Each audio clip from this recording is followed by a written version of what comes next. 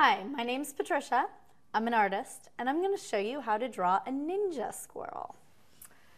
Now, when I draw my ninja squirrels, I usually first draw the squirrel.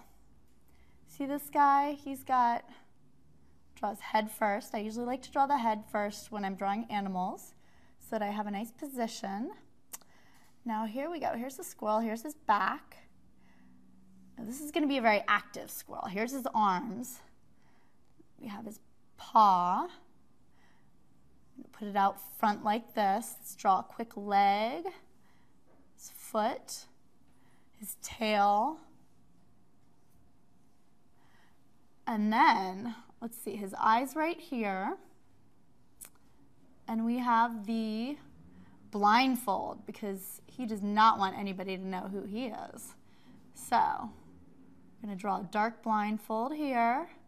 Going to shade it in with some pen. And then we have his mouth, his nose, and in his hand, because he's busy fighting, we're going to have a sword. Let's see here. His other foot, and then his other arm is right back here. Now, hidden back here, if you can see, I'm going to add in a pair of nunchucks. So let's see, don't nunchucks have two handles? You can't really see it because it's behind him. Hmm. But just, we want to keep him busy. So he has his sword as nunchucks. Then we're going to put a little ground below him so that he can jump around easily.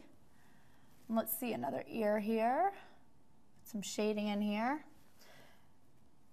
And you have your ninja squirrel. Enjoy.